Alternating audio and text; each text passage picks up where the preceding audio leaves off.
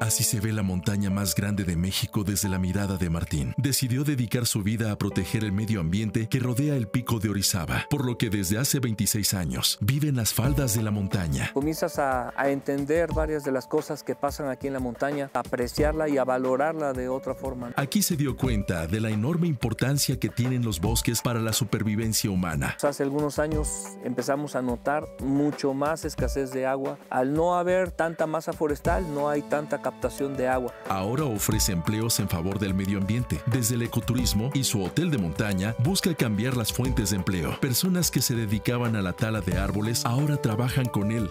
Tratar de que las personas de aquí de las comunidades tuvieran una alternativa, que no sea solo el impacto hacia el bosque. Lo más importante es seguir adelante con esto. Al paso del tiempo se van viendo resultados pequeños pero muy significativos. Él es Martín Moreno Rojas, ciudadano del año en Veracruz.